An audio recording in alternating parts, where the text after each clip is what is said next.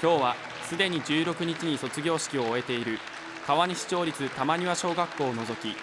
東南沖多摩西2町の40校で行われ合わせて1606人の児童が通い慣れた学び屋を巣立ちました。このうち米沢市立松川小学校では男子43人女子31人の合わせて74人が卒業式を迎え辻正人校長から一人一人に卒業証書が手渡されました。辻校長は人は人によって磨かれる。家族先生友達と助け合い学び合い磨き合ってより良い人となってくださいと式辞を述べ卒業生を激励しました。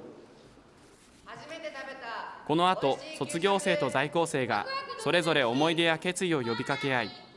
全校合唱「ビリーブを体育館いっぱいに響かせました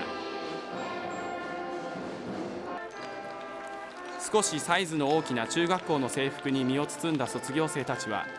大きな拍手に送られながら体育館を後にし中学校生活へ向け決意に満ちた表情を見せていました。